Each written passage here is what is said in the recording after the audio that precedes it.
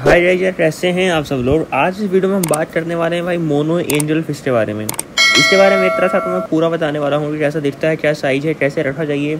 Behaviour habitat diet tank requirement एक तरीके से ज़ीरो टू हंड्रेड की पूरी वीडियो में आपको बताने वाला हूँ कि इस फ़िश के बारे में आपको पूरी जानकारी मिलेगी।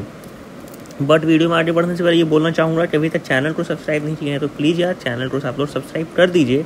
एंड आपको लगता है कि वीडियो में कुछ इंप्रूवमेंट की ज़रूरत है तो कमेंट में बताइए, मैं वो भी करने को तैयार हूँ। अब बात करते हैं टॉपिक की तरफ़ कि हाँ यार, ठीक है mono angel fish angel fish तो हम लोग नाम सुने हैं कॉमन एंजल फ़िश हम लोग जानते भी हैं। बट ये क्या है? तो मोनो एंजल फ़िश जो है ना, ये एंजल फ़िश की वैरायटी होती है। और अगर इसकी बात करें कैसा दिखता है एंजल फ़िश की तरह ही है तो क्या कुछ अलग इसका दिखा हुआ है? तो भाई देखिए जो मोनो एंजल फ़िश होता है ना इनका जो बॉडी होता है वो येलो कलर का होता है जिसमें आपको इलेक्ट्रिक ब्लू, ब्लू बोल सकते हो स्ट्राइप्स रहती हैं जैसे करंट होता है ना उस टाइप का दिखने में लगता है। तो येलो बॉडी पे ऐसे स्ट्राइप्स होते हैं एंड काफ़ी आए कैचिंग होता है एक तरह से फ़िश देखने में भाई देखो। अगर आप पहली बार देखोगे ना तो आपको लग रहा यार ये कौन सी वैरायटी है? ये कौन सा फ़िश है? बहुत अलग लगता है देखने में। तो ये हो गया इसके साइज़ की बात, इसका दिखावा जैसा है, वो हो गया। दूसरा है साइज़ की बात की जाए तो देखिए ये मैक्सिमम तीन इंच साढ़े तीन इंच तक ही जा पाता है। बहुत ज़्यादा बड़ा नहीं होता मतलब जो नॉर्मल एंजल फिशेज हम लोग देखते हैं, वो चार पाँच इंच तक भी जाती हैं अच्छा खासा ग्रो कर जाती हैं बट मोनो एंजल फ़िश जो है, वो तीन साढ़े तीन इंच तक जाता है।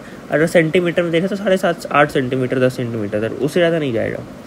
थर्ड बात करते हैं इसे हैबिटेट की। तो देखिए एक तरह से अगर आप इसके लिए टैंक बनाना चाहते हैं तो इतना ज़रूर ध्यान में रखिएगा कि इसके टैंक में आपको कोरल रीफ्स रॉकी एरियाज़ बहुत ज़्यादा डेवलप करने हैं।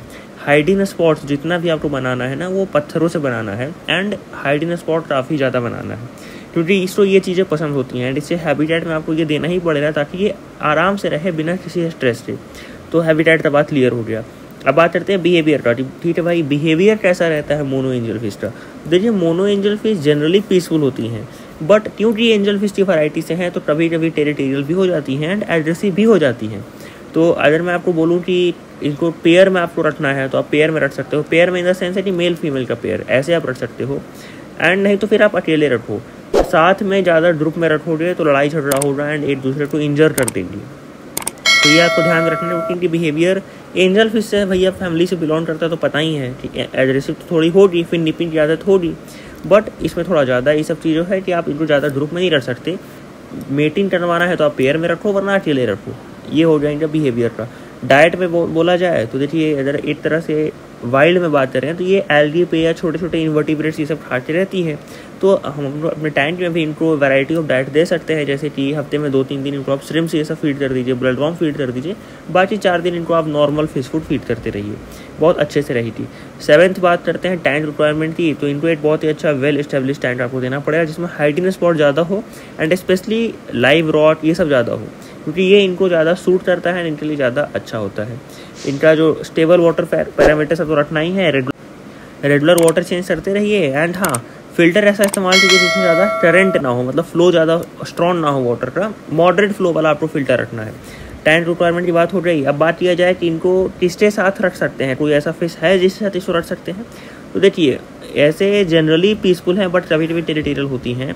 तो अगर आप एकदम चाहते ही हैं, नहीं, मुझे तो कोई ना कोई रखना ही है टैंक में इनके साथ। अकेले में नहीं रखना चाहता हूँ। तो आप कोई कोई पीसफुल वैरायटी की फ़िश रख सकते हैं जो थोड़ा साइज़ में इनसे बड़ी हो।